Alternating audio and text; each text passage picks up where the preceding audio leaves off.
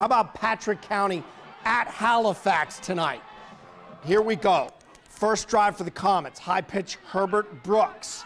Big run right here for the big big fella. He is rumbling, rumbling toward the red zone.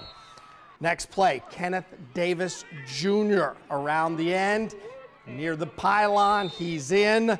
They missed the PAT later first quarter. Davis is going to get the handoff and we're going to speed it up for you. He scores from deep inside Cougar territory. There he goes. Comets were up 13 0 Patrick County got on the board, but this one goes to Halifax.